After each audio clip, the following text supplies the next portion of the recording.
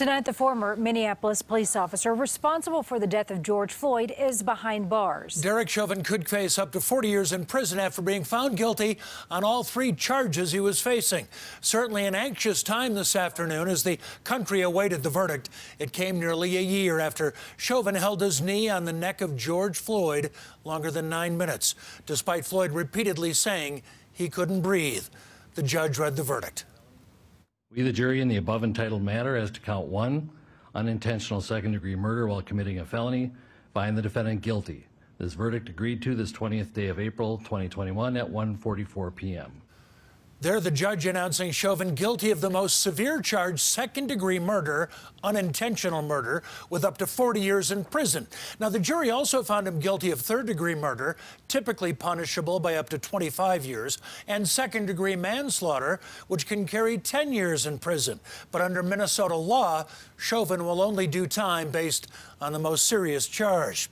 It was a verdict many were not optimistic would come, but are very relieved to see. This, the scene in Minneapolis tonight at the intersection where George Floyd was murdered.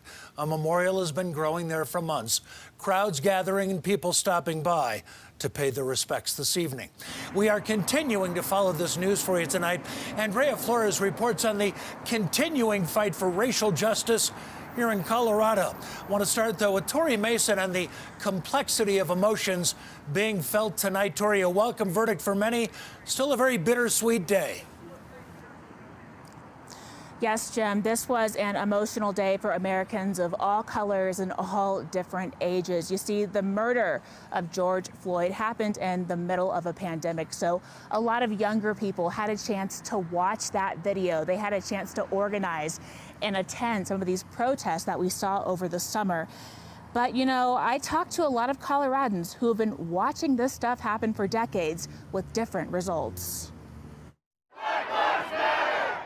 No one incident completely changes anything. For Terry Nelson, last summer was a familiar fight with a different name.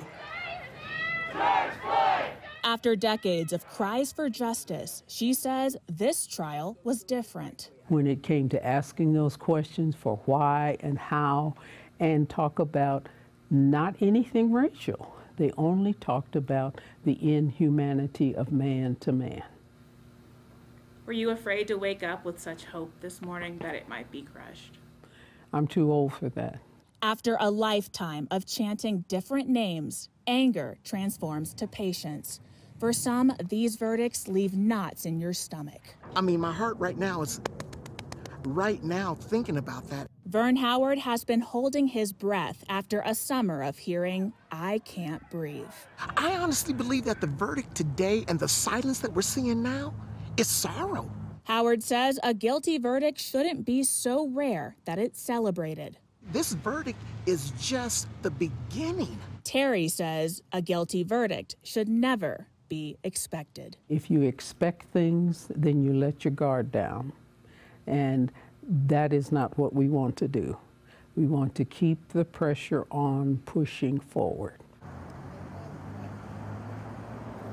Now, Howard says this verdict should inspire people to take all of that energy they had last summer protesting and to come together and do something to inspire more productive change. He says this fight for justice is far from over. What happened today was very emotional. It had a huge impact on a lot of people. And if you are one of those people, the most important thing you can do right now moving forward is to take care of yourself. We're live in Denver. Tori Mason covering Colorado First.